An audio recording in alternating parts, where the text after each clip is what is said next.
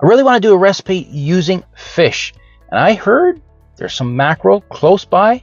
So we're going to take a road trip. And I want you to join me as we go fishing. And hopefully we're going to cook our catch. Look at this scenery. Look at the mountains. It's absolutely beautiful. We're going to drive about 40 minutes and we're going to get to the ocean, to the Atlantic Ocean, because we live in eastern Canada. And this is an incredible view. I grew up in a community of 150 people right along the ocean, right along the salt water. Anytime I wanted to go fishing, the opportunity was there. Anytime I wanted to go on the wharf with my rod, it was an amazing experience as a child. Be able to fish anytime I wanted to. And today is no different. We're headed to the wharf. We're going to see what we can catch. And hopefully, we're going to catch some mackerel. Because I want to really do a good recipe. And hopefully, we'll see some tuna. Because the rumors are the tuna is in chasing the mackerel. There's also a shark been sighted as well. Who knows what we'll see today. But this is an incredible experience to be able to show you my kind of life, what I do in my spare time. We finally made it to the wharf. Look at the view. We are surrounded by these amazing mountains. One of the best views I've ever seen. So relaxing, so peaceful. Just cast out your line. No worries, no stress.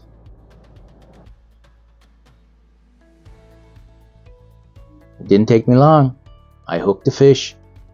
Unfortunately, not a mackerel, and it's not a pretty fish at that. It's a scopoline. Scopoline lives at the bottom of the ocean and is basically scavengers. Does amazing work for our ecosystem. Look at that fish. Going to toss it back. Got to watch the thorns. It has a lot of thorns up around its head, so grab it by the tail, toss it back in the ocean. And look at this fish. Do you know what that is? This was an amazing sight. First time I seen one up close. It's a tuna. It's in after the mackerel, and it was amazing to see it up close. Wow. Guess what I got now? I got a mackerel. Haha, finally got one. Look at that. Finally get to do a nice recipe. Unfortunately, that's the only one I got tonight. As the sun starting to set, guess what? We're going to head home. And I'm going to try to do a nice recipe. Lots of herbs, lots of spices, with some lemon. Look at the beautiful scenery. So peaceful. Not a cloud in the sky. Look at that. Gotta love where I live. I hope you enjoyed that introduction and seeing some of the beautiful scenery that I have in my backyard. It's only about 40 minutes away from where I live right now. But I grew up alongside the ocean, another part of the island than what we've seen today. And this is Miss Maya. She's getting tired. It's getting late. So she came in to see me.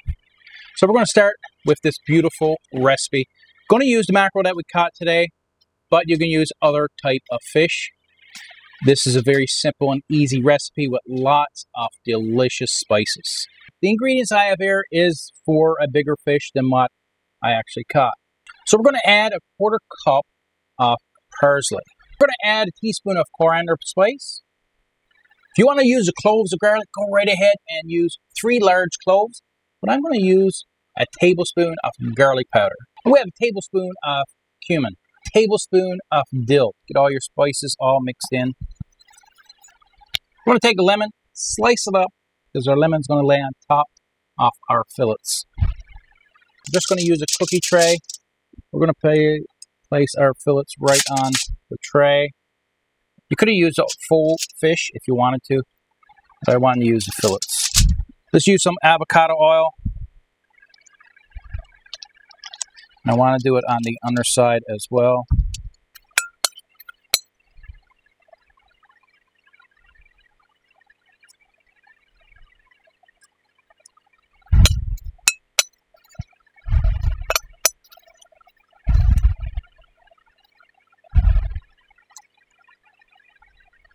Let's put our lemon. It only needs a couple slices, small fillets.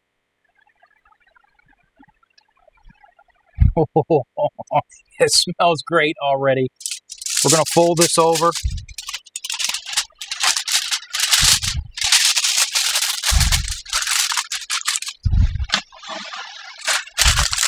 Just going to seal everything together in a nice packet. We have the oven set for 350 Fahrenheit for about 30 to 40 minutes. My oven's going to need about 35 to 40 minutes. We're going to try 35 first. This fish should turn out absolutely perfect. We're going to open this and hopefully it's fully cooked. And then for 35 minutes. Very hot. Let's have a look. smells incredible.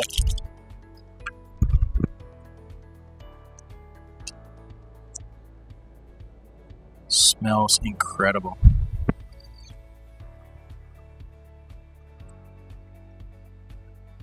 Look at that.